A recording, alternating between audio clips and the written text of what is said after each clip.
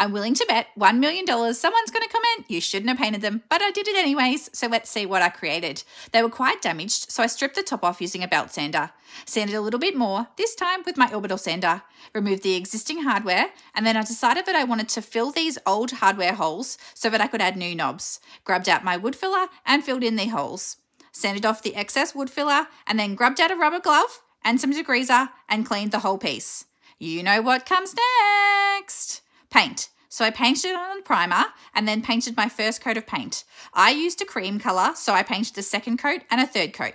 Now time for the detail. I painted the drawers brown and then sponged on some paint into the stencil to give a textured look. I created a paint wash and applied it to the raw timber. This is how the colour changed. I measure, drilled and applied new hardware, added the top coat, and this is it. Still think I shouldn't have painted them? Anyways, make sure you subscribe for more furniture flips.